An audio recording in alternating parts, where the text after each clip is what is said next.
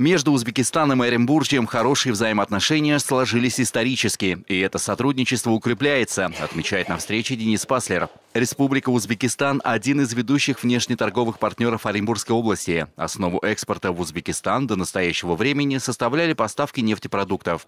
Сейчас область поставляет в республику подсолнечное масло, плоский металлопрокат, продукты неорганической химии, изделия из пластмассы, древесины, бумаги, картона и другое.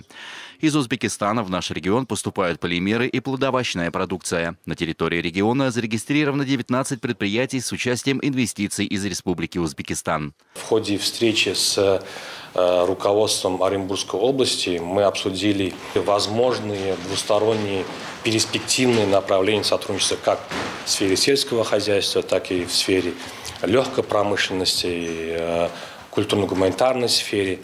Стороны наметили обмен визитами бизнес-сообщества и руководителей областей, заинтересованных в развитии отношений. Известно также, что ведутся переговоры о гастролях Русского драматического театра Узбекистана в Оренбуржье. Визит труппы планируется на осень.